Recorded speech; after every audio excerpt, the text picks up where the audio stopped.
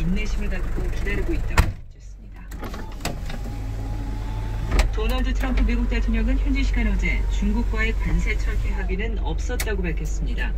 트럼프 대통령은 아무것도 합의하지 않았고 중국은 관세의 완전한 철회가 아닌 어느 정도의 철회를 원한다면서 내가 완전한 관세 처리를 하지 않을 것이란 점을 알기 때문이라고 강조했습니다.